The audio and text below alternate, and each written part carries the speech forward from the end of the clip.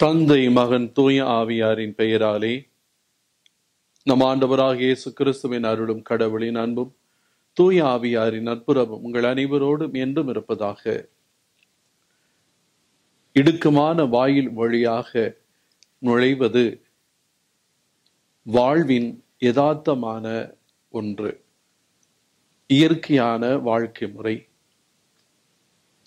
வசதிகளும் ஆடம்பரங்களும் நமக்கு வாழ்வின் முழுமையை நமக்கு தராது. எந்த ஒரு நல்ல காரியமும் இடுக்கமான வாயில் வழியாகத்தான் நுழைவதை போன்றதாக இருக்கும். வாழ்வில் உயர்வது கடினமான காரியம். ஒரு திறமையை வளர்த்துக் கொள்வதும் ஆளுமைகளை வளர்த்துக் கொள்வதும் இடுக்கமான வாயில் வழியாக நுழையக்கூடிய ஒரு முறைகள்.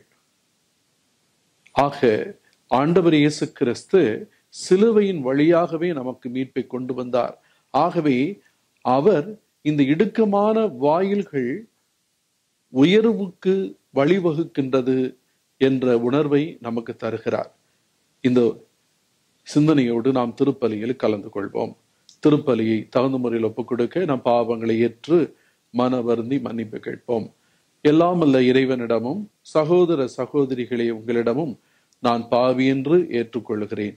ஏனெனில் என் சிந்தனையாலும் சொல்லாலும் செயலாலும் கடமையில் தவறியதாலும் பாவங்கள் பல செய்தேன். என் பாவமே என் பாவமே என் பெரும் பாவமே.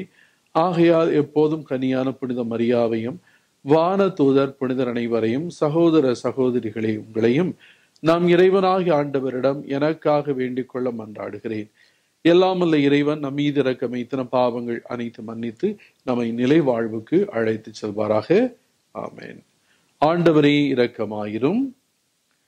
கிறிஸ்துவே இரக்கமாயிரும். ஆண்டவரே இரக்கமாயிரும். மன்றாடுவோமாக. ஆண்டவரே உம்மையே நம்பி உம்முடைய அன்பில் நிலைத்திருப்பவர்களை நீர் என்றும் கைவிடுவதில்லை. இவ்வாறு நாங்கள் உமது திருப்பெயரை எக்காலத்திலும் போற்றவும் உம்மை அன்பு செய்யவும் எங்களுக்கு அருள்வீராக. உமோடு தூய ஆவியாரின் ஒன்றிப்பில் இறைவனாய் என்றென்று வாழ்ந்து ஆட்சி செய்கின்ற எங்கள் ஆண்டவரும் உம் திருமகனுமாய் இயேசு கிறிஸ்து வழியாக உம்மை மன்றாடுகின்றோம். முதல் வாசகம். அரசர்கள் இரண்டாம் நூலிலிருந்து வாசகம்.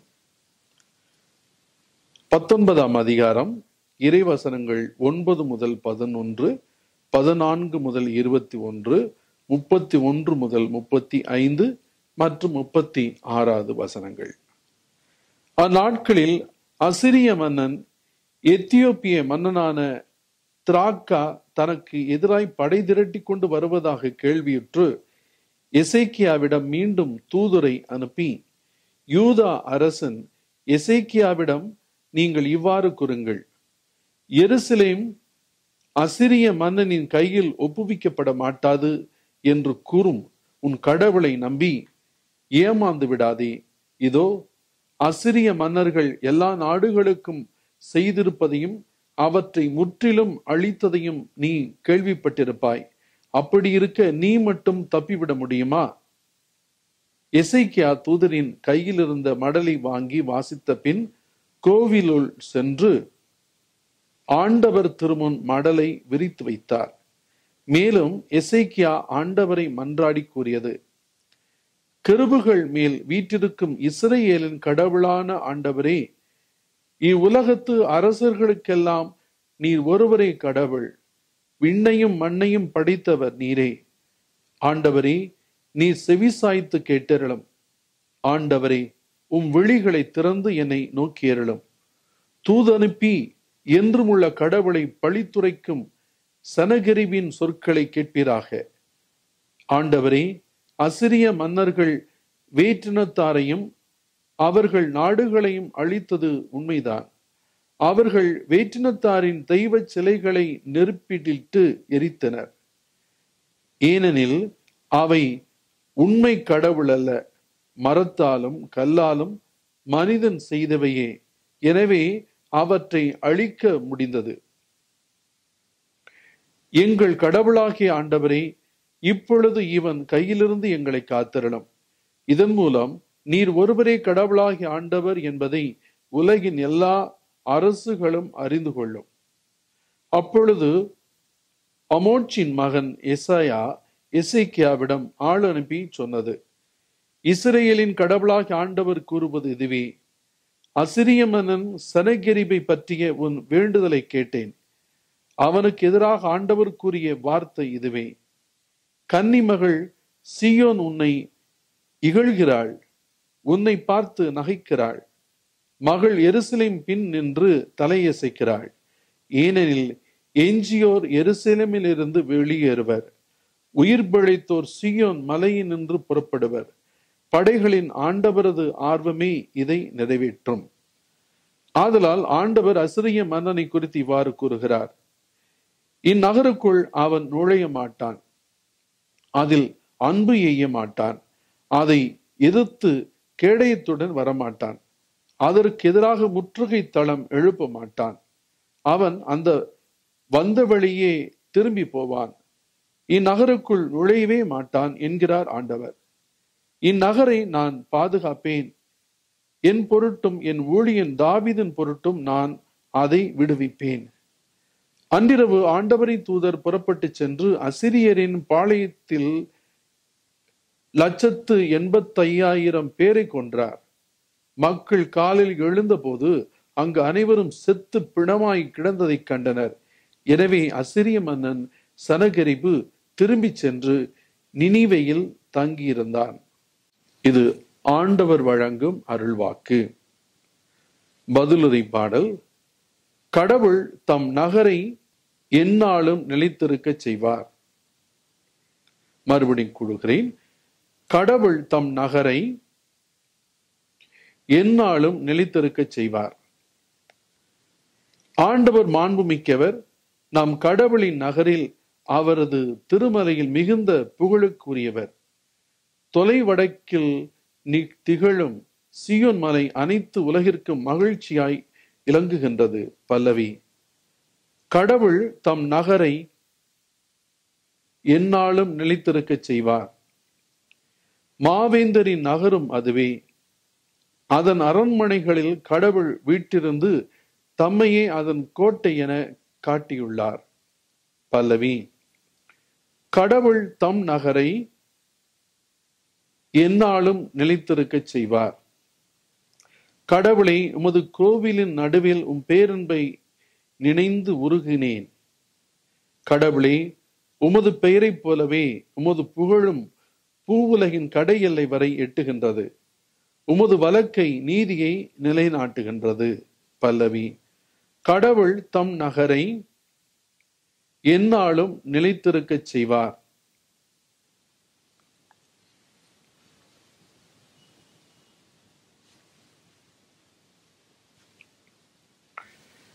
அலெலியா அலெலுயா உலகின் ஒளி நானே என்னை பின்தொடர்பவர் இருளில் நடக்க மாட்டார். வாழ்வுக்கு வழிகாட்டு ஒளியை கொண்டிருப்பார் அலேலியா ஆண்டவர் உங்களோடு இருப்பாராக. புனித மத்தையை எழுதிய பரிசுத்த நற்செய்திலிருந்து வாசகம். ஏழாம் அதிகாரம் ஆறாவது வசனம் மற்றும் பனிரெண்டு முதல் பதினான்கு முடிய உள்ள இறைவசனங்கள். A Gospel according to Matthew chapter 7 verses 6 and from 12 to 14. அக்காலத்தில் இயேசு தம் சீடரை நோக்கி கூறியது தூய்மையானது எதையும் நாய்களுக்கு கொடுக்க வேண்டாம். அவை திருப்பி உங்களை கடித்து குதறும். மேலும் உங்கள் முத்துக்களை பன்றிகள் முன் எரிய வேண்டாம். எரிந்தால் அவை தங்கள் கால்களால் அவற்றை மிதித்துவிடும். ஆகையால் பிறர் உங்களுக்கு செய்ய வேண்டும் என விரும்புகிறவற்றையெல்லாம் நீங்களும் அவர்களுக்கு செய்யுங்கள். இறைவாக்குகளும் திருச்சட்டமும் கூறுவது இதுவே. இடுக்கமான வாயில் வழியே நுழையுங்கள். ஏனெனில் அழிவுக்கு செல்லும் வாயில் அகன்றது வழியும் விரிவானது. அதன் வழியே செல்வோர் பலர். வாழ்வுக்கு செல்லும் வாயில் மிகவும் இடுக்கமானது. வழியும் மிக குறுகலானது.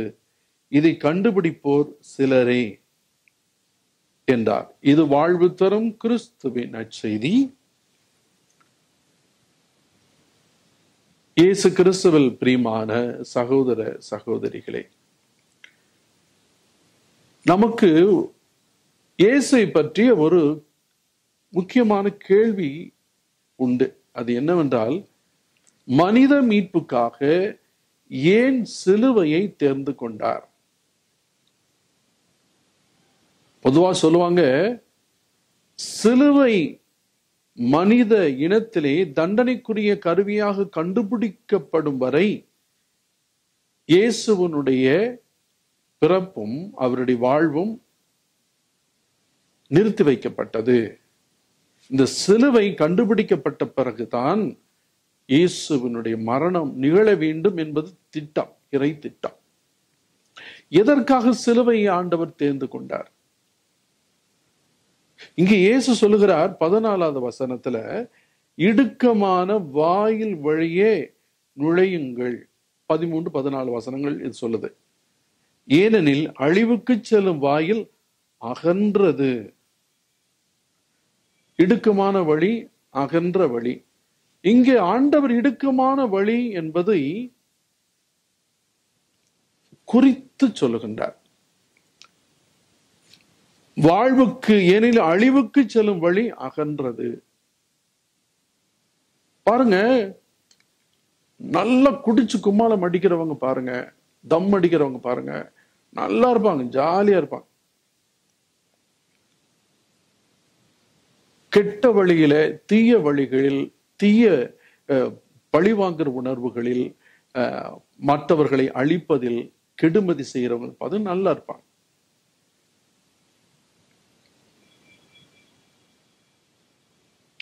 அன்புக்கினவர்களே ஒரு உதாரணத்துக்கு நான் சொல்லுகிறேன். எங்க ஊர்ல ரயில்வே வேலை செஞ்ச ஒருத்தர் இருந்தார்.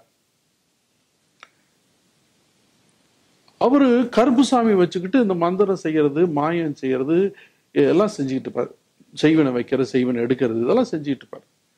இவர் ரயில்வேல வேலை செஞ்சுட்டு இருக்கார். அவர் பேர் வேணாம்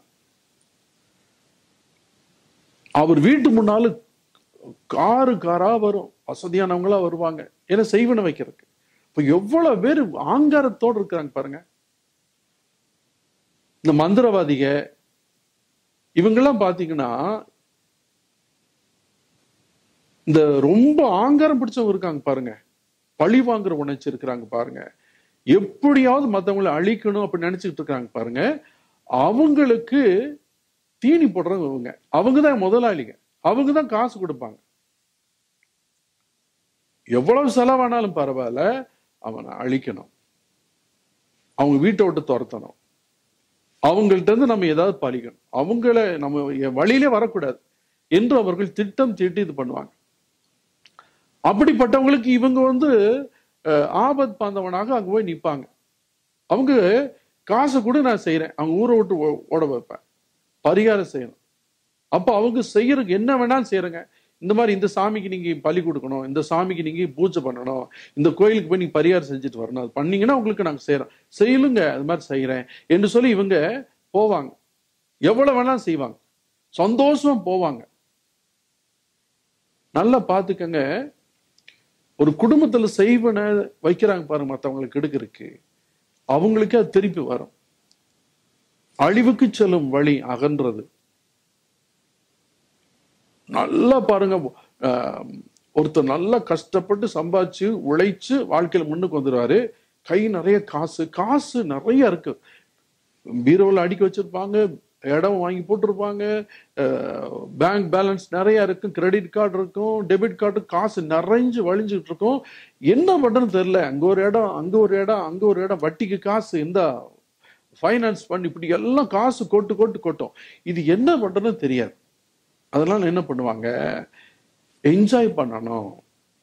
சந்தோஷமா இருக்கணும். காசு இருக்குது அனுபவிக்கு.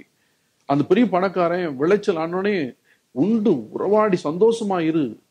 செல்வம் கொழித்து விட்டது விளைச்சல் அதிகமாகி விட்டது நீ சந்தோஷமாயிருன்னு சொன்னது போல அவங்க என்ன பண்ணுவாங்க? அகன்ற பாதைக்கு போவாங்க. இடுக்கமான வழியில கஷ்டப்பட்டு முன்னுக்கு வந்துருவாங்க. காலையில் சீக்கிரம் எழுந்திருவாங்க கடுமையா படிப்பாங்க கடுமையா திறமைகளை வளர்த்துக்கொள்வாங்க கடுமையான பயிற்சி எடுத்துக்கொள்வாங்க ராத்திரி பகல உழைப்பாங்க சரியா சாப்பிட மாட்டாங்க இடுக்கமான வழி வாயை வைத்து கட்டி கஷ்டப்பட்டு சம்பாரிச்சு பெரிய பணக்காயிருவாங்க பிசினஸ் வளர்ந்துருவாங்க கம்பெனி வளர்ந்துரும் காசு கொட்ட ஆரம்பிச்சிரும். அந்த இடுக்கமான வழியிலிருந்து அவங்க அகன்ற பாதைக்கு வந்துடுவாங்க ஃப்ரெண்ட்ஸ் பார்க்குவாங்க பெரிய பெரிய இடத்துக்கு போவாங்க. லைன்ஸ் கிளப்புக்கு ரோட்டரி கிளப்புக்கு பெரிய பெரிய பெரிய மனிதங்களோட பழக ஆரம்பிச்சிருவாங்க. அவங்க பழக்க வழக்கங்களையும் உங்களுக்கு கற்றுக்குவாங்க பார்ட்டி வச்சுக்குவாங்க கெட் டுகெதர் வச்சுக்குவாங்க சோஷியல் ட்ரிங்கிங் எல்லாம் ஒன்றா சேர்ந்துக்குவாங்க. மா வாரத்துக்கு ஒரு தடவை நல்லா சந்தோஷமாக குடிச்சுக்கிட்டு இருப்பாங்க. அப்புறம் பழக்கமாச்சுன்னு வீட்டில் வாங்கிட்டு வந்து குடிக்க ஆரம்பிச்சிருவாங்க. செல்வம் கரையிறது தெரியாது. குந்தி தின்றால் குன்றும் கரையும் சொல்லுவாங்க. நல்லா பாருங்க. மூன்றாவது தலைமுறை முதல் இரண்டு தலைமுறை சம்பாதித்த சொத்தை அழிப்பதற்காக பிறக்கும் சொல்லுவாங்க. மூன்றாவது தலைமுறை. முதல் தலைமுறை கஷ்டப்பட்டு இடுக்குமான வாயில் வழியா போய் கஷ்டப்பட்டு வேதனைப்பட்டு அவமானப்பட்டு என்ன பண்ணாலும் சரி நான் முன்னுக்கு வரணும்னு சொல்லிட்டு நல்லா வாழ்க்கையில் கடுமையான போராடி பணக்காரராகிடுவாங்க சொத்து நிறைய சேர்த்துருவாங்க. பிள்ளைகளுக்காக நல்லா படிக்க வைப்பாங்க வசதியான இடத்துல கல்யாணம் பண்ணி வைப்பாங்க நல்ல கம்பெனி விருதுவாக்கம் பெரு வசதியான வாழ்க்கை வாழ ஆரம்பிச்சிருவாங்க. தன் குடும்பத்துக்கு அஞ்சு தலைமுறை ஆறு தலைமுறைக்கு வேண்டியதெல்லாம் இடம் வாங்கி போட்டுருவாங்க. பணத்தை இன்வெஸ்ட் பண்ணி வட்டி கொடுவாங்க பணம் நிறைய சம்பாதிப்பாங்க. பணம் கொட்டோ கொட்டோன்னு கொட்டும். எட்டுத்துக்கும் இல்லை பதினாறுத்துக்கும் பணம் கொட்டும். பயங்கர சந்தோஷமா இருப்பாங்க. அஞ்சு ரூபா துவக்கத்துல இடுக்கமான வாயில் வழியில போன போது அஞ்சு ரூபா செஞ்ச இடத்துல இப்ப ஐநூறு ரூபா செலவு ஒரு சர்வசான மல்லி வீசுவாங்க. ஓயாங்க. சில சொல்லடே உங்க அப்பா பணக்காரன்டா இந்தா என்ஜாய் பண்ணடா நான் பிள்ளைகளுக்கு பணம் அள்ளி கொடுப்பாங்க. சாதாரண செல்போன் கட்ட நீ இந்தா ஒன்றரை லட்ச ரூபா நல்லா உனக்கு வேணிங்க வாங்கிக்க. காரு பைக் எல்லாம் வச்சு கொடுப்பாங்க. பிள்ளைகளை அகன்ற வ- வழியிலே போக பழக்குவாங்க. சில வீடுகள்லாம் பார்த்தீங்கன்னா ஞாயிற்றுக்கிழமை பூசிக்க வர மாட்டாங்க. ஞாயிற்றுக்கு ஒரு நாள் லீவு தூங்கட்டு பையன் தூங்கணும் டெய்லி டியூஷன் போகிறான் பிள்ளைகளை கோயிலுக்கு அனுப்ப மாட்டாங்க.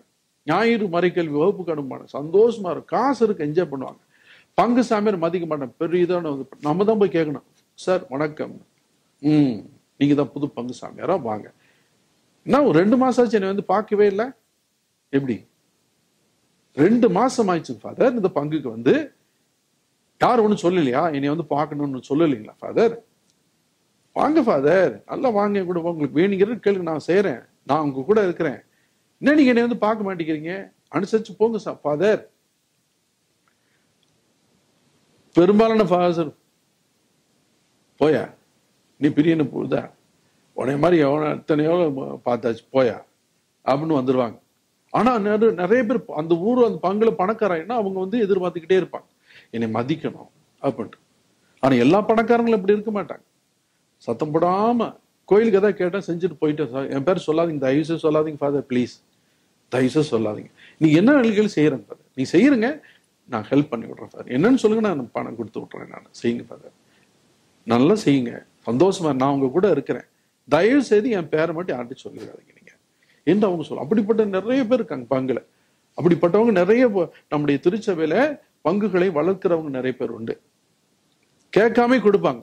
சில பேர் புதுசா பணக்காரவங்க வந்து பயங்கர ஆட்ட போடுவாங்க. சாமியாரெல்லாம் என் பேச்சு தான் கேட்டுட்டு செய்யணும் அப்படிம்பாங்க. சாமியார கீழே கீரை நினைச்சுக்குவாங்க. சாமியார் நம்ம பேச்சு கேட்க மாட்டேங்கிறாரு. யோ இந்தா. பிஷப்க்கு லெட்டர் இருந்தா பாச்சிங்க பாச்சிக்கிற இருந்தாலும் அனுப்பி விட்டுருங்க. இந்தாலும் நமக்கு ஒத்து வர மாட்டான். அவனை துரத்தி விட்டுருங்க. நம்ம பார்த்துக்கலாம் அண்ணே நீங்க சொல்லிட்டா சரிங்க. இந்த அடிப்படி வாங்கி குடிச்சிட்டு காசு பின்னாடி அலையிறாங்க பாருங்க. கொடுக்குற ஆயிரம் ரூபாய் ரெண்டாயிரம் ரூபாய்க்கு வாங்கி வச்சுக்கிட்டு அடிக்குமே வேலை செய்யறாங்க பாருங்க. சரிங்க எஜமா சரிங்க. நான் பார்த்துக்கிறேன் நீங்க பேசாம இருக்கீங்க உங்க பேரே வராது நாங்க பார்த்துக்கிறோம் நீங்க போங்க. இப்படி பிரச்சனை பண்ணுவாங்க. வசதி வாங்கி வந்தோடனே என்ன பண்ணுவாங்க? ஆட்டம் போட ஆரம்பிச்சிடும் அகண்ட பாதைக்கு போயிடுவாங்க சின்ன வயசுல ரொம்ப சாதாரண ட்ரிங்க்ஸ் வாங்கி குடிச்சவங்க இப்ப ரெண்டாயிரம் ஐயாயிரம் பத்தாயிரம் ரூபா சொல்லி பெரிய லெவலுக்கு போய் பெரிய சோசியல் ட்ரிங்க்மா நல்லா பேர் அந்தஸ்துக்காக குடிக்க ஆரம்பிச்சிருவாங்க. அவங்க பிள்ளைக்கு பாத்தீங்கன்னா அழிப்பதற்காகவே வளருவாங்க. ஒரு தலைமுறை சம்பாதிக்கிற அடுத்த தலைமுறை அழிக்க ஆரம்பிச்சிடும் சில விவரமான பணக்காரங்க என்ன பண்ணுவாங்க? ஆமாடா நான் கஷ்டப்பட்டு சம்பாதிச்ச காசு அதுக்காக நீ வந்து என் காசுல குளிர் காயக்கூடாது. நீயும் கடுமையாக உழைக்கணும். என்னைய மாதிரி நீ கஷ்டப்படணும். என்னங்க டாடி நூறுரூவா கேட்டால் அஞ்சு ரூபா தான் கொடுக்குறீங்க. போதும் அதை வச்சு பொழைக்க கற்றுக்கு முதல்ல. ஒரு ரூபானுடைய மதிப்பு நீ தெரிஞ்சுக்கணும். புரிஞ்சா போ. உங்கள் அப்பன் சம்பாரிச்சுனா உனக்கு அள்ளி கொடுக்கணும் கட்டாயம் இருக்கானே நீயும் கடுமையாக உழைக்கணும். உழைப்புனா என்னன்னு தெரிஞ்சுக்கணும். சிக்கனம்னு என்னன்னு தெரிஞ்சுக்கணும். வறுமைனா பசினா என்ன தெரிஞ்சுக்கணும். போ. அப்படிப்பட்ட சந்ததியும் அவங்க வளர்ப்பாங்க. பணத்தினுடைய திமிரு அங்க வரவே வராம இவங்கள்ட்ட இருக்காது அவங்கள்ட்ட வரவிட மாட்டாங்க. கஷ்டப்படுத்துவாங்க. அப்படிப்பட்ட தலைமுறைன்னா இந்த தலைமுறை சம்பாதிச்சதை பாதுகாத்து இன்னும் பெருசாக்கும். டே எங்க அப்பன் பெரிய பணக்காரன்டா. எங்க அப்பா நினைச்ச என்ன வேணா செய்யணும். எங்க அப்பா யாருன்னு தெரியுமில்ல? சில பேர் சொன்னே நீ என்ன வேணா செய்யற நான் பாத்துக்கிறேன் போட. நான் இருக்கிறேன் போ. பிள்ளைகள் தவறு செஞ்சாலும் அப்படி வளர்க்குறாங்க பாருங்க. தங் தங்களுடைய தலைமுறையின் மீது நெருப்பை கட்டி கொடுக்குறாங்க. அடிமையத்துல கோடாரி வச்சுட்டாங்கன்னு அவங்களே தங்களுடைய தலைமுறையில் விருட்சத்தின் அடியிலே கோடாரி வச்சுட்டாங்க நெருப்பை பத்த வச்சுட்டாங்க அப்படின்னு அர்த்தம். இந்த மூணாவது தலைமுறை எப்போதுமே முன் முன்னோர்களுடைய சொத்தை அழிப்பதற்காகத்தான் பிறக்குன்னு சொல்லுவாங்க. இந்த மூணாவது தலைமுறையை பக்குவமாக வளர்த்து பக்- பண்போடு ஒழுக்கத்தோடு அறநெறியோடு வாழக்கூடிய தலைமுறையாக அந்த மூன்றாவது தலைமுறை காப்பாத்திட்டாங்கன்னு வச்சுங்களேன் அந்த சொத்து ஏழு தலைமுறை வரைக்கும் போகும்னு சொல்லுவாங்க. மூணாவது தலைமுறையில தப்பிச்சிருச்சுன்னா இந்த முன்னோருடைய சொத்து எல்லாமே தப் மூன்றாவது தலைமுறை தப்பிச்சிருச்சுன்னா காப்பாத்திருச்சுன்னா ஏழு தலைமுறை வரைக்கும் போகும்னு சொல்லுவாங்க. அகன்ற பாதைன்னு பார்த்தீங்கன்னா அங்க கட்டுப்பாடு இருக்காது. ஒழுக்கம் இருக்காது. சுய கட்டுப்பாடு இருக்காது. அறநெறி இருக்காது. நெறி தவறிய இஷ்டத்துக்கு என்ன வேணா நம்ம சந்தோஷமா தான் என்ன வேணா பண்ணலாம். நமக்கு ஆதாயம் வேணுமா? நமக்கு எது நடக்கணும்? யாரை வேணா போட்டு தரலாம். யாரு வேணா அழிச்சிட்டு போயிட்டே இருக்கலாம். நமக்கு வேண்டியதுன்னு பாதை கிளியர் ஆயிடுச்சா? போய்கிட்டே இருக்கணும். அதை பத்தி கவலைப்படக்கூடாது. பக்கத்து ஊர்ல கஷ்டப்பட்டாலும் சரி பக்கத்து ஊர்ல சாவுனால தான் கூட சத்தம் படாமல் எங்க வீட்டுல ஜன்னலாம் ஜன்னலும் சாத்திட்டு பிரியாணி சாப்பிடக்கூடிய குடும்பங்கள்லாம் உண்டு. எவன் சத்தா நமக்கு நம்ம வீட்டுல நடக்கல நம்ம ஜாலியா இருக்கலாம். அப்படின்னு போயிட்டே இருப்பாங்க. அவங்க கட- கடவுள் சொல்றாரு அது அழிவின் பாதைங்கிறார் அடுத்தவர் மீது அக்கறை இல்லாதவர்களுடைய வாழ்க்கை அழிவு பாதை நோக்கி சென்று கொண்டிருக்கிறது. இயேசு நினைச்சிருந்தா எல்லாரையும் ஒரே பரிசுத்தாவினாலே புனிதப்படுத்தியிருக்கலாம் கூட்டி போயிருக்கலாம் ஏன் அவர் சிலுவையில செத்தாரு? கோல்டு மெடல் வாங்கணும்னா எதுக்காக காலையில் நாலு மணிக்கு மூணு மணிக்கு ஏஞ்சி ஓடணும் பயிற்சி எடுக்கணும் கட்டுமையா உழைக்கணும்? வேர்க்க விறுவிறுக்க வயிற்ற கட்டி வாயை கட்டி கஷ்டப்பட்டு எதுக்காக பண்ணணும்? இந்த கோல்டு மெடல் வாங்கணும்னா அதான் இடுக்கமான வழி. எங்க ஃபாதர் செமினர்ல படிக்கும்போது ஒரு ஃபாதர் சொல்வார். பிரதர்ஸ் நீங்க பங்கு சாமியார் இருக்கும் பொழுது உங்க பங்குல ஒரு பிரச்சனையுமே இல்லைன்னு வச்சுங்களேன். நீங்க இருக்கிற காலம் தொட்டு ஒரு சண்டையே வரல. ஒரு பிரச்சனையுமே இல்லை நல்ல சுமூகமா போயிட்டு இருக்குன்னா ஒண்ணு நீங்க அங்க ஒரு வேலை செய்யலன்னு அர்த்தம். இல்ல அங்க இருக்கிற மக்களுக்கு தகுந்த மாதிரி உன்னை நீங்க மாத்திக்கிட்டு கூளை கும்பிடு போட்டுட்டு வளைஞ்சு நெளிஞ்சு போயிட்டு இருக்கன்னு அர்த்தம். இறைவாக்கு பணியை நீ செய்யவில்லை. அடுத்தவங்களுக்கு தகுந்த மாதிரி நீ மாத்திக்கிற. தண்ணி எப்படி எந்த பாத்திரத்தை ஊத்துனா அதனுடைய வடிவை எடுப்பது போல நீ அந்த மக்களுக்கு தகுந்த மாதிரி ஆடுறவங்க பாட சொன்னா ஆடிட்டு பாட சொன்னா பாடிட்டு அனுசரிச்சு எதுக்கு வம்பு? என்னண்ணே? சரிண்ணே விட்டுருங்க. ஓகே. பிரசங்கத்துல நான் எதுவும் திட்டக்கூடாது. சரி நான் ஒண்ணுமே சொல்லணேன் பைபிளை மட்டும் படிச்சுட்டு விட்டுட்டு போயிடுறேன் விட்டுருங்க. நீங்க என்ன சொல்ற அந்த மாதிரி பண்ணிட்டு போயிட்டாரு. நல்ல ஆள்றேன் நம்ம சொன்ன மாதிரி கேட்கிறான் இந்த சாமியார் ஒருத்தர் தான். நம்ம சொன்னா அப்படியே ஏத்துக்குவாரு. அருமையான சாமியார். அப்படின்னு மக்கள் நினைச்சுக்கிட்டு இருக்காங்க. அப்படிப்பட்ட கோழையாக இறை பணியை நீ செய்யாமல் இருக்கிறாய் என்று அர்த்தம். ஒருவேளை உன் பங்குல பிரச்சனையாவே இருக்கு. எப்ப பார்த்தாலும் உன் மேல மொட்டை கடிதாசி போடுறான்னா நீ அங்க ஏதோ செய்யறன்னு அர்த்தம். அது களைச்சு விட்டுரு கொ- குழப்பி விட்டுக்கிட்டு இருக்கிற நீ. அங்க ஆண்டவர் செயல்பட வச்சிருக்கிறாய். ஆண்டவரோடு இணைந்து நீ அந்த குடு பங்கை நீ உயர்த்திக்கின்றாய் செம்மைப்படுத்திக் கொண்டிருக்கிறாய் என்று அர்த்தம் என்று சொல்வார். அன்புக்கு லெட் நத்திங் டிஸ்டர்ப் மீ அப்படின்னு நம்ம நிறைய பேர் இருப்போம். எனக்கு எந்த தொந்தரவும் வரக்கூடாது. பொட்டாட்ட போயிட்டு பொட்டாட்ட வந்துடணும் அதெல்லாம் ஒண்ணுமே இல்லை. அது இந்த ஒரு ஒரு பொருளை தூக்கி இப்படி வச்சிட்டோம்னா அது அங்கேயே இருக்கும். அது உயிர் இல்லை. நாம் செயல்பட வேண்டும். செயல்பட வேண்டும் என்றால் இடுக்கமான வாயில் வழியாக நுழைய வேண்டும். ஒருவர் ஒரு இசை கருவியை வாசித்து அதில் சிறப்பான இசைக்கலைஞராக வேண்டும் என்றால் அவர் தினமும் கடுமையாக பயிற்சி எடுக்க வேண்டும்.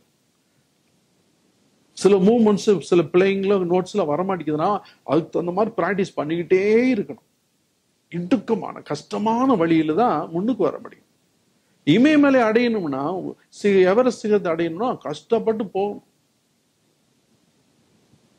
முழு உள்ளத்தோடும் முழு ஆம், மனதோடு முழு ஆற்றலோடும் எல்லா காரியத்தையும் செய்தாக வேண்டும். அதைத்தான் இயேசு விரும்புகின்றார். ஆக கிறிஸ்தவர்களாக வாழ்வது என்பது ஆம்னு இருக்கணும். இல்லைன்னு இருக்கணும். ஆம் தான் சரி ஆண்டவரே. நீ சொன்னபடி நடக்கிறேன். அன்னை மரியாள் அப்படிதான் கஷ்டப்பட்டாங்க. அன்புக்கினியவர்களே இடுக்கமான வாயில் வழியாக நுழையணும். மத்திய ஏழு ஆறு சொல்கிறது தூய்மையானது எதையும் நாய்களுக்கு கொடுக்க வேண்டாம். அவை திருப்பி உங்களை கடித்து குதறும். மேலும் உங்கள் முத்துக்களை பன்றிகள் முன் எரிய வேண்டாம். நான் ஒரு பங்குல பைபிளை எடுத்துட்டு வாங்க. பைபிளை நம்ம இன்னும் அதிகமா ஆழமா பண்ண அன்பியங்களை நம்ம பயன்படுத்துறோம். ஆனா கோயிலுக்கு வரும்போது பைபிள் எடுத்துட்டு வாங்க. இன்னும் ஆழம் படிச்சுக்கலாம் உடனே ஒரு குரூப் எங்களுக்கு பெந்த கோஸ்காரனா மாத்திரியா? பைபிளை துவக்கத்துல பைபிள் எடுத்து சொன்னோன்னு இப்படி பயங்கரமான எதிர்ப்பு. ஏன்னா அவங்களுக்கு புரியாது. பைபிள்னா என்ன எவ்வளவு ஆற்றல் வாய்ந்தது? எது நம்மை ஆண்டவருக்கு எதிராக நிற்கும்னா பிசாசு தான் எதிர்த்து நிற்கும் பிசாசுக்கு ஒரு ஃபிளாஷ் வேணும். கெட்டவங்க புத்தி உடையவங்க வேணும். அவங்க வழியா பிசாசு தோண்டி விடும். தோண்டி விடுறவங்க எப்பவுமே பேசாம தான் நினைப்பாங்க அந்த தூண்டி விடப்பட்டவர்களை விட தூண்டுறவன் பாருங்க அவன் தான் பயங்கரமான குற்றவாளி. ஆனா அவங்களுக்கு தெரியாத மாதிரி இருப்பாங்க அப்படி அவங்க பாட்டு வேலை நடந்துகிட்டே இருக்கு நம்மகிட்ட நல்லவங்களாட்ட நடிச்சுக்கிட்டே இருப்பாங்க. அவங்க கெட்டவங்கன்னா இவங்க கேடு கெட்டவங்க. அதனால தான் சொல்றாரு அந்த நாய்களிடம் நீ முத்துக்களை எரியாத கடித்து குதறும் என்று சொல்றாரு. முத்துக்களை பன்றிகள் முன் எரிய வேண்டாம் எரிந்தால் அவை தங்கள் கால்களால் அவற்றை மிதித்து விடும். அதனுடைய மதிப்பு தெரியாது. சில பேர் பாருங்கன்னா பெரியவங்க இளைஞர்களுக்கு ஏதாவது அறிவுரை கூட்டினாங்கன்னா அது ஏத்துக்க மாட்டாங்க. பெருசு போயிட்டாரு காத்து வரட்டும் இடத்து காலி பண்ண. போ அந்த பக்கம் என்று சொல்லுவாங்க. காலம் கெட்டு போச்சு. சொல்றது சொல்லியாச்சு போ அப்படின்னு போயிட்டே இருப்பாங்க ஆனா அது பிரயோஜனப்படாது. பிரயோஜனப்படவே படாது.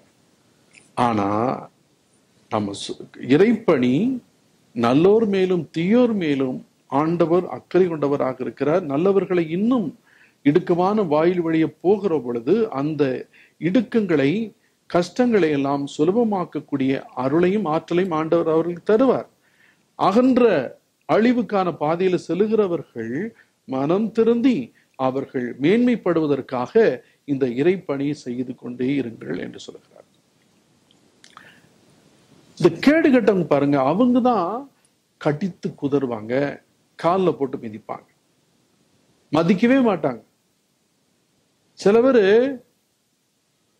சொல் புத்தி கேட்டா செஞ்சிருவாங்க. சில பேர் சொல் புத்தி மறைஞ்சு சுய புத்தி வந்த பிறகு தெரிஞ்சுக்குவாங்க ஆனா சில பேர் சொன்னாலும் சுய புத்தி இருக்காது சொல்லு புத்தி இருக்காது சுய புத்தி இருக்காது. அவங்கள தான் இங்க ஆண்டவர் சொல்கிறார் எவ்வளவு சொன்னாலும் திருந்தாத உள்ளங்கள் இருக்கு. அவர்களும் இருந்தென்ன லாபம் சொல்றாங்க. திருந்தாத உள்ளங்கள் இருந்தென்ன லாபம். இருந்தாலும் மறைந்தாலும் பேர் சொல்ல வேண்டும். நாம் பலன் கொடுக்க வேண்டும். ஒரு நத்தை கூட அது வாட்டில் போயிட்டு இருக்குது. எங்க போகுது? அதுக்கு ஒரு வாழ்க்கை இருக்கிறது. அதே போல எல்லா உயிர்களும் பலன் கொடுக்கக்கூடியவர்களாக இருக்க வேண்டும். கடவுளுக்கும் பிறருக்கும் பலன் கொடுக்கக்கூடியவர்களாக இருக்க வேண்டும். எட்டு மணி வரைக்கும் தூங்குறவங்க எப்படி முன்னுக்கு வர முடியும்?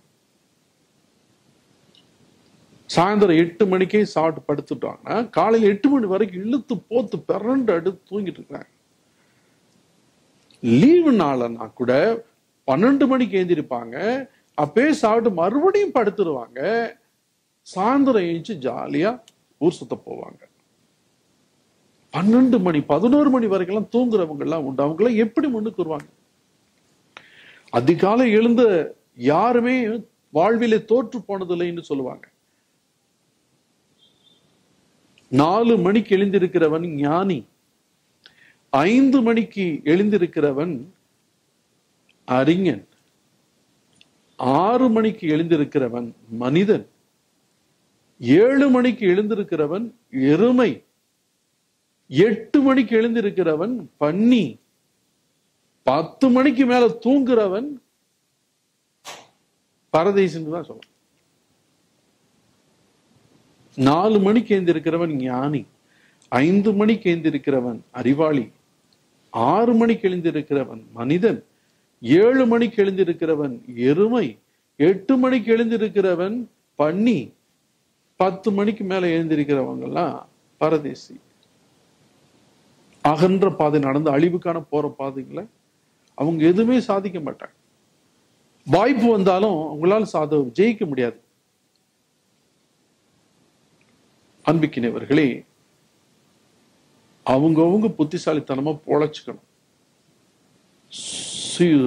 கடுமையா உழைக்கிறவங்க தான் முன்னுக்கு வந்திருக்காங்க. இன்னைக்கு வாழ்க்கையில எல்லாம் வெற்றி பெற்றவங்க அத்தனை பேருமே அம்பானி கூட தலையில துணியை வச்சு வித்துக்கிட்டு இருந்தவர் தானா அந்த காலத்துல. புத்திசாலி அந்த கஷ்டம் சிரமங்களும் பசியும் அரைவயிறும் இதுதான் நம்முடைய வாழ்வை வெற்றி பெற செய்யக்கூடிய உந்து சக்தியாக அமையும். வசதி வாய்ப்புகள் ஆடம்பரங்கள் வளமை நிறைவு எதுவுமே நம்மை வ- வளர்க்காது. நம்முடைய சுய முன்னேற்றத்திற்கு சுய முயற்சிகளுக்கு அது தண்ணி ஊற்றி கொண்டே இருக்கு. ஆனால் வறுமைதான் வாழ்வில் வெற்றி பெற வேண்டும் என்கிற வெறிதான். எங்க அப்பா வெற்றி பெற்றா அவரும் அவர் வெட்டிட்டார் நான் ஜெயிக்க வேணாமா? எங்க அப்பா ஜெயிச்சுட்டாரு நான் ஜெயிக்கணும்ல? நான் என்னுடைய வழியில் நான் ஜெயிக்கணும்னு சொல்லிட்டு போராடுறாங்க பாருங்க சில குழந்தைகள் இளைஞர்கள் நீ என்னதான் அப்பா டே உங்க அப்பா அவ்வளவு ஒரு வசதி இருந்துட்டு போட்டுங்க. அது அவருடைய சம்பாதிச்சாரு. அதனால அவர் காசுல பிச்சை எடுத்து நான் வாழ வேண்டிய அவசியம் இல்லைங்க. என்று சொல்லி தனிக்கு தங்களுக்கென்று ஒரு தனி பாதை அமைத்துக்கொண்டு முன்னுக்கு வர்றாங்க பாருங்க. அது கஷ்டப்பட்டாலும் பரவாயில்ல. இடுக்கமான வழியா இருந்தாலும் பரவாயில்ல. பரவாயில்லைங்க நான் இருக்கேன் சார் நீங்க என்ன வேலை கொடுங்க சார் நான் செய்யறேன். என் குடும்பம் ரொம்ப கஷ்டப்படுதுங்க. என்ன வேலை கொடுங்க சார் கரெக்டா பர்ஃபெக்டா செய்யறேங்க சார். நீங்க கூட்டுற கொடுங்க சார் நான் செய்யறேன் சார். அப்படிப்பட்ட நல்லா பார்த்துக்கிட்டே இருப்பான் வாட்ச் பண்ணுவாங்க. ஆனா துவக்கத்துல நியூ ப்ரூம் ஸ்வீப்ஸ் கிளீன்பாங்க துவக்கத்துல நல்லா வேலை செய்வாங்க. ஆனா சோம்பேறியா இருக்கிறவங்க நல்ல பேர் வாங்கினிக்கு இருக்க வரைக்கும் நல்ல பேர் நல்லா கடுமையா உழைப்பாங்க. அப்புறம் யார் பார்க்கல அப்படின்னு ஜாலியா இருக்க ஆரம்பிச்சிருவாங்க. சோம்பேறியா இருவாங்க மறுபடியும் பழைய நிலைமை ஏமாத்த ஆரம்பிச்சிருவாங்க. வேலை செய்யற மாதிரி நடிக்க ஆரம்பிச்சிருவாங்க. ஆனா வாழ்க்கையில் முன்னுக்கு வர வேண்டும் யார் பார்த்தாலும் சரி பார்க்கலன்னா சரி முன்னுக்கு வரணும். ஜெயிக்க வேண்டும் என்பதற்காக இரவு பகல் பாராது உழைச்சிக்கிட்டே இருப்பாங்க. அப்படிப்பட்ட ஊழியர்களை பார்க்கிற முதலாளி உண்மையாகவே நல்ல ஒரு மனுஷப்பா. என்னப்பா இப்படியே அவ்வளவு கஷ்டப்பட்டு கஷ்டப்படுவேன் நான் உங்களுக்கு உயிர் நான் வாழ்க்கையில வெற்றி வர செய்யறேன் உன்னை ஆசீர்வதிக்கிறேன் என்று சொல்லி அவங்களை உயர்த்துவார். அன்பிக்கினிய சகோதர சகோதரிகளே ஆண்டவர் நம்மை தன்னைப் போலவே இடுக்கமான வாயில் வழியே நீங்கள் போங்கள். அதுதான் வாழ்வை ருசிகரமாக இனிமையாக மாற்றும் வெற்றிகள் உங்களுக்கு இனிமையாக மாறும் என்று சொல்கிறார் ஆக அன்புக்கினவர்களே அத்தகைய உணர்வோடு நம்முடைய வாழ்விலே முன்னுக்கு வருவோம். ஜெயிப்போம். எங்கள் நல்ல தகப்பனே இறைவா. வசதிகளும் வாய்ப்புகளும் அல்ல. மாறாக இடுக்கமான வாயிலும் சிரமங்களும் கடுமையான பாதைகளுமே எங்களை வாழ்விலே உயர்த்தும் என்பதை உணர்ந்து நாங்கள் அவற்றின் பாதையிலே நடக்க அருள்தார் இந்த மன்றாட்டுகளை எங்கள் ஆண்டவரும் திருமகனுமாய் இயேசு கிறிஸ்து வழியாக பார்த்து கிஞ்சி மன்றாடுகின்றோம். ஆமேன்.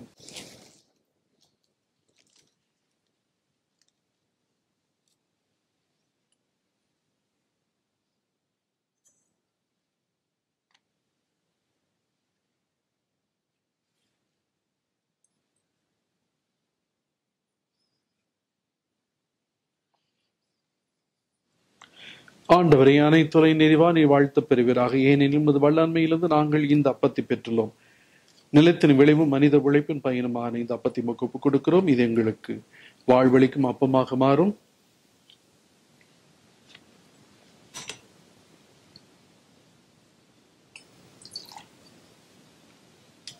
கிறிஸ்து நமது மனித இயல்பில் பங்கு கொள்ள திருவுளமானார் இத்தண்ணீர் ரசம் இவற்றின் மறைபொருள் வழியாக நாம் அவருடைய இறை இயல்பில் பங்கு பெறுவோமாக.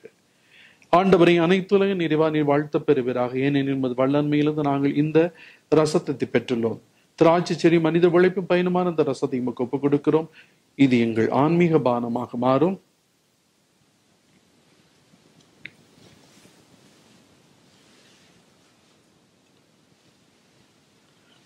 சகோதர சகோதரிகளே என்னுடையது உங்களதுமான பலி. எல்லாமல்ல தந்தையாகிய இறைவனுக்கு கேட்டதாகும்படி ஜெபியுங்கள். ஆண்டவர் தமது பெயரின் புகழ்ச்சிக்காக மாட்சிக்காவும் ஆண்டவர் தமது பெயரின் புகழ்ச்சிக்கா மாட்சிக்காவும் நமது நன்மைக்காகவும் புனித திரு அவை அனைத்து நலனுக்காகவும் உமது கையிலிருந்து இப்பலியை ஏற்றுக்கொள்வாராக. ஆண்டவரே எங்களை மூட ஒப்புரவாக்கும் இப்புகழ்ச்சி பலியை ஏற்றருளும். அதனால் நாங்கள் தூயோராக்கப்பட்டு உம்மை மகிழ்விக்கும் எங்கள் மனங்களின் காணிக்கைகளை உமக்கு அளித்திட அருள்விராக. எங்கள் ஆண்டவராக கிறிஸ்து வழியா மன்றாடுகின்றோம். ஆண்டவர் உங்களோடு இருப்பாராக. இதயங்களை மேலே எழுப்புங்கள். நாம் இறைவனாக ஆண்டவருக்கு நன்றி கூறுவோம். ஆண்டவரின் தூயவரான தந்தையை என்றும் உள்ள எல்லாம் இறைவா என்னாலும் இவ்விடத்தில் நாங்கள் நமக்கு நன்றி செலுத்துவது மெய்யாகவே தகுதியும் நீதியுமாகும் எங்கள் கடமையும் மீட்புக்கு உரிய செயலும் ஆகும். நாங்கள் வாழ்வதும் இயங்குவதும் இருப்பதும் உம்மிலேதான். இந்த உடலோடு வாழ்க்கையில் உமது பரிவு பரிவிறக்கத்தின் பயன்களை மட்டுமே நாங்கள் நாள்தோறும் அனுபவிப்பதோடன்றி இப்பொழுதே நிலைவாழ்வின் பிணையையும் கொண்டுள்ளோம். ஏனெனில் உம் ஆவியாரின் முதற்கனிகளை பெற்றுள்ள நாங்கள் பாஸ்கா மறை நிகழ்வின் பயன் எங்களுக்கு என்றும் உண்டு என நம்புகின்றோம். அந்த ஆவியார் வழியாகவே நீர் இயேசுவை சாவினின்று உயிர்த்தெழச் செய்தீர். ஆகவே நாங்கள் வானதூதர் அனைவரோடும் சேர்ந்து உமை புகழ்ந்தேத்தி அக்களித்து கொண்டாடி ஆர்ப்பரித்து சொல்லுவதாவது? தூயவர் தூயவர் தூயவர் வான் படைகளின் கடவுளாம் ஆண்டவர். விண்ணகமும் மன்னகமும் ஆட்சியால் நிறைந்துள்ளன. உன்னதங்களிலே ஓசானா. ஆண்டவர் பெயரால் வருகிறவர் ஆசி பெற்றவர் உன்னதங்களிலே ஓசானா. ஆண்டவரே நீர் மெய்யாகவே தூயவர் தூய்மை அனைத்துக்கு ஊற்று.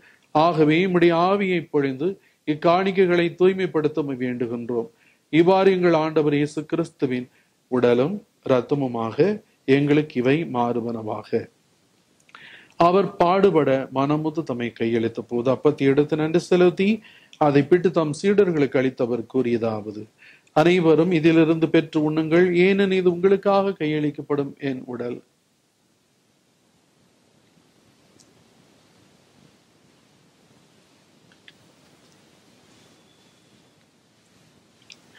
ஆவணமே இரவு விருந்தை அறிந்தவின் கிண்ணத்தையும் எடுத்து மீண்டும் நன்றி கூறி தம் சீடர்களுக்கு அளித்தவர் கூறியதாவது. அனைவரும் இதிலிருந்து பெற்று பருகுங்கள். ஏனெனில் இது புதிய நிலையான உடன்படிக்கைக்கு உரிய என் ரத்தத்தின் கிண்ணம். இது பாவ மன்னிப்புக்கென்று உங்களுக்காம் பலருக்காம் சிந்தப்படும். இதை என்ன நினைவாக செய்யுங்கள்.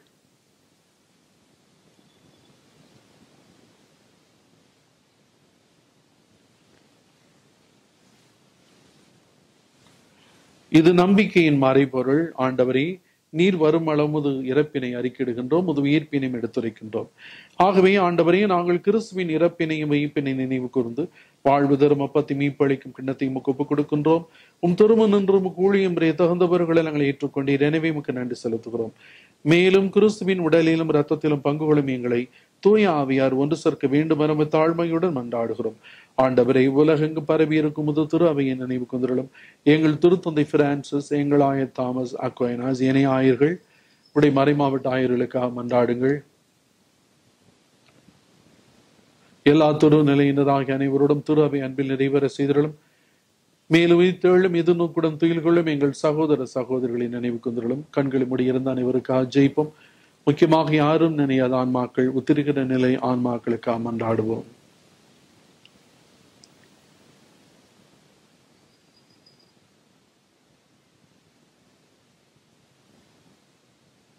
இறந்தோர் அனைவர் இறக்கத்துடன் நினைவு குந்தும் துருமுக ஒளியினுள்ள ஏற்றுக்கொள்ளும் எங்கள் அனைவர் மீதும் இறக்கமாயிரும் கடவுளின் கண்ணியத்தான புனித மரியாள் அவருடைய கணவரான புனித யோசேப்பு. புனித திருத்துதர்கள் இவ்விலையிலும் முக்குந்தவராய்ந்தோர் எங்கள் பாதுகாவலியாய் புனித சலைத் மாதா மற்ற புனிதர் அனைவருடனும் நாங்கள் நிலை வாழ் பங்குகளும் தகுதி பெற்றும் திருமண இயேசு கிறிஸ்து வழியாக இப்பொழுந்தது வரமருளமை மன்றாடுகின்றோம். இவர் வழியாக இவரோடு இவரில் எல்லாம் வல்ல இறைவனாகிய தந்தையே தூயாவியாரின் ஒன்றிப்பில் எல்லா புகழும் ஆட்சியும் என்றென்றும் உமக்கு உரியதே. ஆமின். ஆமின். ஆ மீட்பரின் கட்டளையால் கற்பிக்கப்பட்ட தெய்வ படிப்பினியால் பயிற்சி பெற்ற நாம் அனைவரும் மகிழ்ந்து ஜெபிப்போம். விண்ணுலகில் இருக்கிற எங்கள் தந்தையே மது பெயர் தூயதென போற்ற பிறகு முது ஆட்சி வருக முது திருவிழ விண்ணுலகில் நிறைவேறுவது போல மண்ணுலகிலும் நிறைவேறுக. எங்கள் அன்றாட உணவை இன்று எங்களுக்கு தாரும். எங்களுக்கு எதிராக குற்றம் செய்வோரை நாங்கள் மன்னித்துள்ளது போல எங்கள் குற்றங்களை மன்னியும். எங்களை சோதனைக்கு உட்படுத்தாதையும் தீமையிலிருந்து எங்களை விடுவித்திரளும். ஆண்டவரை தீமை அனைத்திலிருந்தும் எங்களை விடுவித்து எங்கள் வாழ்நாளில் அமைதியை கனிவுடன் அருளமும் அன்றாடுகிறோம். உமது இறைக்கு உதவியா நாங்கள் பாவத்திலிருந்து எப்போதும் விடுதலை பெற்று யாதொரு கலக்கமும் இன்றி நலமாயிருப்போமாக. நாங்கள் இது நோக்கியிருக்கு பேரின்பத்துக்காம் எமீப்பராக இயேசு கிறிஸ்தன் வரையக்காம் காத்திருக்கின்றோம். ஏனெனில் ஆட்சியும் வல்லமையும் ஆட்சியும் என்று நம்மதே. ஆண்டவரே இயேசு கிறிஸ்துவே அமைதியை உங்களுக்கு விட்டு செல்கிறேன். என் அமைதியை உங்களுக்கு அளிக்கிறேன் என்றும் திருத்தூதர்களுக்கு மொழிந்தரே. எங்கள் பாவங்களை பாராமல் திரு அவையின் நம்பிக்கை கண்ணோக்கி திருவுளத்துக்கு ஏற்பதற்கு அமைதியையும் ஒற்றுமை அளித்தல்வதாக என்னென்னு வாழ்ந்து ஆட்சி செய்கின்றவர் நீரே? ஆண்டவுடைய அமைதி உங்களோடு என்றும் இருப்பதாக ஒருவருக்கொருவர் கிறிஸ்தன் அமைதி பகிர்ந்து கொள்வோம். உலகின் பாவங்களை போக்கும் இறைவனின் செம்மறியே எங்கள் மேல் இறக்கமாயிரும் உலகின் பாவங்களை போக்கும் இறைவனின் செம்மறியே எங்கள் மேல் இரக்கமாயிரும். உலகின் பாவங்களை போக்கும் இறைவனின் செம்மறியே எங்களுக்கு அமைதியை அளித்திரளும்.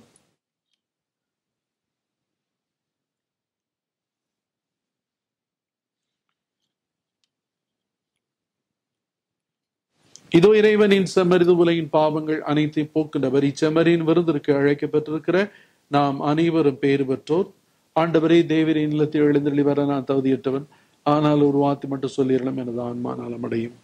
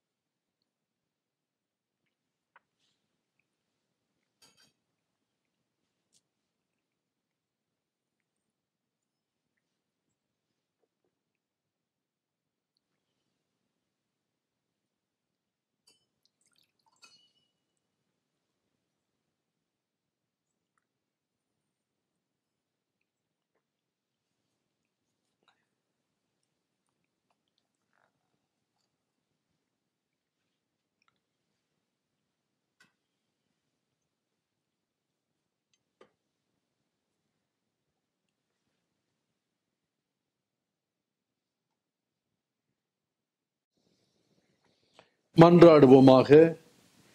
ஆண்டவரை உம் திருமகனின் உயர் மதிப்புள்ள உடலாலும் இரத்தத்தாலும் மூட்டம் பெற்று புதுப்பிக்கப்பட்ட நாங்கள் உமது கனிவை கெஞ்சி கேட்கின்றோம். இறை பற்றுடன் நாங்கள் அடிக்கடி நிறைவேற்றும் இப்பலியின் பயனாக எங்கள் மீட்பை உறுதியாய் கண்டடைய செய்வீராக. எங்கள் ஆண்டவராக கிறிஸ்து வழியா மன்றாடுகின்றோம். ஆண்டவர் உங்களோடு இருப்பாராக. எல்லாமல்ல இறைவன் தந்தை மகன் தூய் ஆவியார் உங்கள் அனைவரையும் ஆசிர்வத்து காத்திருள்வாராக. சென்று வாருங்கள் திருப்பலி நிறைவேறிற்று. நித்திய ஸ்துதிக்குரிய பரிசுத்த நற்கருணைக்கு பக்தியாயாராதனை எத்திசையும் புரிவோம் அச்சிறு சிறவை அடையாளத்தினாலே எங்கள் சத்துக்களிடமிருந்து எங்களை சித்திரம் எங்கள் சர்வேஸ்வரா தந்தை மகன் தூய் ஆவியாரின் பெயராலே. ஆமேன். பிரைஸ் லார்ட் இயேசுவே ஆண்டவர் மரியே வாழ்க. அருள்மிக பெற்ற மரியே வாழ்க ஆண்டவர் உடனே பெண்களுக்குள் ஆசிர்வதிக்கப்பட்டவர் நீரே. உடைய திருவயிற்றின் கனியாக இயேசுவும் ஆசிர்வதிக்கப்பட்டவரே. புனித மரியே இறைவனின் தாயே பாவிகளாயிருக்கிற எங்களுக்காக இப்பொழுதும் எங்கள் இறப்பின் வேளையிலும் வேண்டிக் கொள்ளும். ஆமேன். தந்தைக்கு மகனுக்கு தூய ஆவியாருக்கு மகிமை உண்டாவதாக ஆதியில் இருந்தது போல இப்பொழுதும் எப்பொழுதும் என்றென்றும் இருப்பதாக. ஆமேன். அனைத்து புனிதர்களே புனிதையர்களே புனித சலித் மாதாவே தந்தை மகன் தூயாவியாரின் பெயராலே